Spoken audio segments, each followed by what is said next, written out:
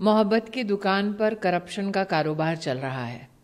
कांग्रेस के आला कमान को गांधी खानदान को देश को ये बतलाना होगा कि उनके एक सांसद के दस ठिकानों से 200 करोड़ रुपए जो बरामद हुए और काउंटिंग अभी जारी है, ये कांग्रेस का नेता गांधी खानदान में किसका एटीएम था?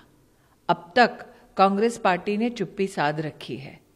ये भी सुनने में आया अखबारों से कि पैसा इतना पड़ा था लूट का कांग्रेस के इस नेता के घर में कि काउंटिंग की मशीनें तक टूट गईं। करप्शन का जो कारोबार चल रहा है, ये कौन है जिसका एटीएम बनकर कांग्रेस का ये नेता उभरा है? चाहे शराब का घोटाला हो, महादेव ऐप का बेटिंग का घोटाला हो, चाहे भर्ती में घोटाला हो, कांग्रेस ने जब सत्ता पाई है, तब घोटालों में उनकी पार्टी, उनकी सरकारें लिप्त रही हैं।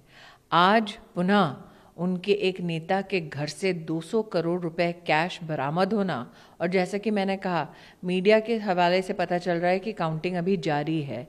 तो वो कौन है जिसका एटीएम कांग्रेस का ये नेता है? और क्यों अब तक कांग्रेस की आला कमान ने इस विषय पर कोई भी टिप्पणी नहीं की है? किसका पैसा है जो लूट का छुपाकर कांग्रेस के नेता के घर से मिल रहा है। गांधी खानदान तब भी चुप था जब महादेव बेटिंग ऐप का खुलासा हुआ मीडिया में।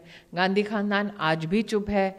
जब 200 करोड़ रुपया बरामद हो रहा है उनके अपने नेता के घर से, मोहब्बत की दुकान पर, ये किस प्रकार से कारोबार हो रहा है? करप्शन का, इसका जवाब तो वही दे पाएँगे।